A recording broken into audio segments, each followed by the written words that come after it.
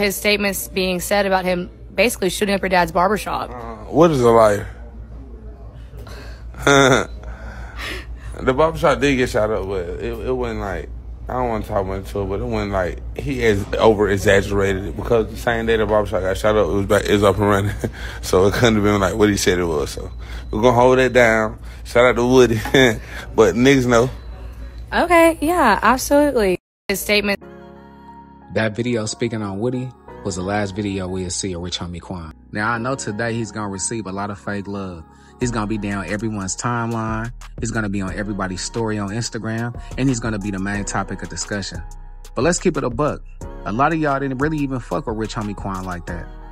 Y'all may have fucked with a song or two, but don't get on social media acting like he was your favorite rapper. I hate that shit.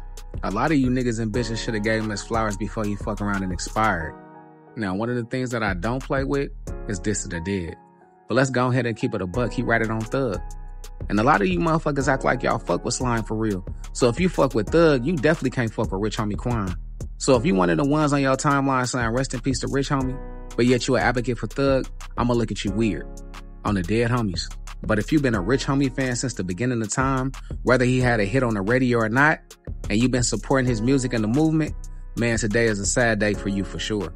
So for the people who don't know, Rich Homie Quan did not get shot. They saying he died from an overdose. There have been a lot of rappers dying from overdoses nowadays. So for more dope content like this, please make sure you continue to like, comment, and subscribe.